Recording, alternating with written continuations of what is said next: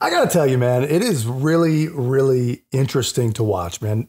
No matter what a couple polls say, no matter what the crazies on the internet trick themselves into believing, tricking each other, talking about energy and grassroots and blah, blah, blah.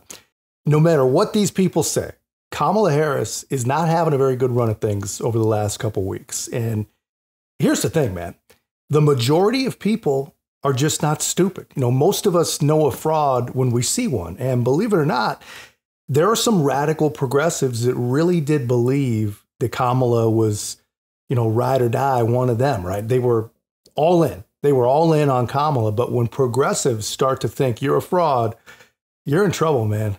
Kamala Harris is renouncing every progressive position she's ever held, one by one.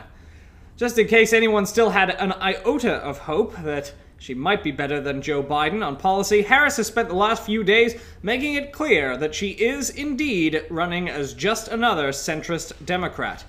Her attack to the right started on July 26th when a campaign official told The Hill that Harris will not seek to ban fracking if she's elected. You got to give credit where credit is due, man. The true believers on the far left, they're not happy. You know, they actually believe in all this crazy stuff. They actually believe it. And now they're getting the feeling that maybe Kamala Harris doesn't actually believe anything, really. Maybe she just says things that she thinks will be politically helpful. And you got, you know, you got to give these guys credit. And I got to give credit where credit is due again to the young Turks, man. These guys said it better than I think anyone. Now, I will say though, again, what no other show will say. On the other hand, Democrats and Kamala Harris should not make the mistake of going around saying you have to vote for her because she's a black woman. That would be a giant mistake because that also turns people off. It Wait, does, yeah. I have to vote for her because of a certain she's a certain race and gender? No, I don't. So the Democrats should not do identity politics. They should let the Republicans do their toxic form of identity politics and take the win. Will they be able to resist? Uh, I don't know. I don't know. I already see groups like white men for Harris, white women White for, Harris. for Like, what are yeah. we doing, guys? But, like- it's okay to be for Kamala Harris without stating your race. Do I have to do Turks who were not who are not Turkish citizens, Muslims who are now atheists for Harris? Just be for Harris without doing weirdo stuff like that. It doesn't help. Yeah, and it's also about the messaging within those groups, right? Like I was a little critical of those groups and then I got pushed back. Oh, well, you should listen to the conversations, like the substantive conversations that are happening. But typically, especially in that white women for Harris group, the conversations are white women bad, white women like destroy country, use your privilege to promote Harris. Here's the thing, man. When your own people think that you're a fraud, where do you even go from there? I mean, she just added Tim Walz to the ticket, right? And he has actually done some pretty progressive things in his state.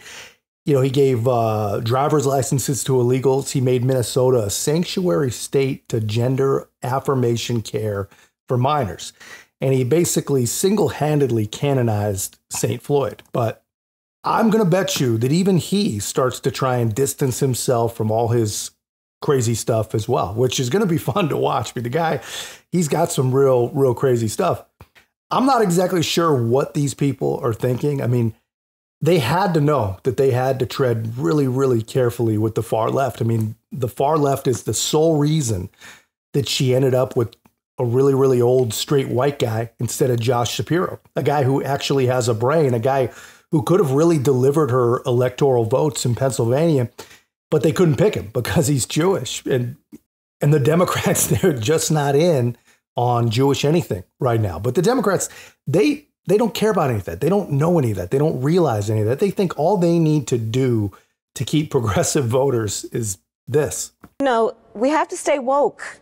Like everybody needs to be woke. Mm-hmm.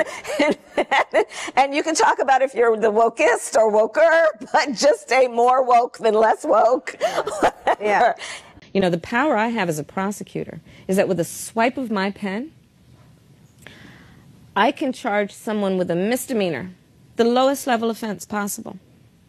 And by virtue of that swipe of my pen, you will have to go to a courthouse and stand in line.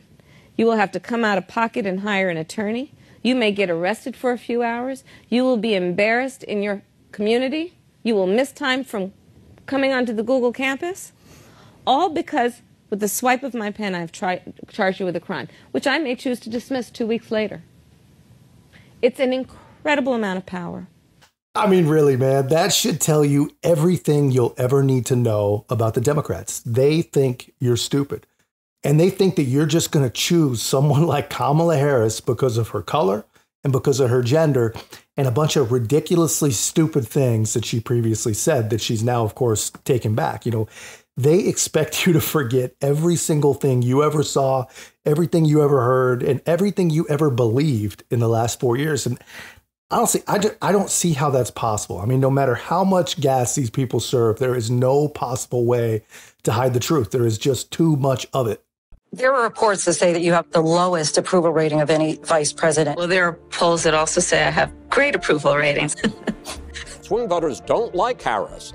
How big a drag is Kamala Harris on the ticket? She's a pretty big drag. I think she was arguably Biden's worst political decision. They don't like her. There's lots of reasons they don't like her. Kamala Harris's approval rating is now at 28%, which is uh, an historic low for any modern vice president. We're hearing it from main, mainstream media, uh, one outlet after another, one leak after another.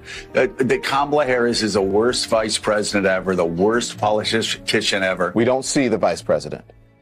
What, what people are saying to me, and I'm sure they're saying it to you, where's the vice president? Some White House officials are feeling that, that she came off looking unprepared for inevitable questions about when she might visit the southern border. Yeah, that's from Maze over on X. Guys, follow him. He does an amazing job with these videos, but because what can you even add to that, man? That is the actual truth. That is the only truth. And this is exactly why Kamala Harris is in hiding, man. It's been three weeks now. And at least as I record this, no real interviews, no actual press conferences, still no actual policy on her website.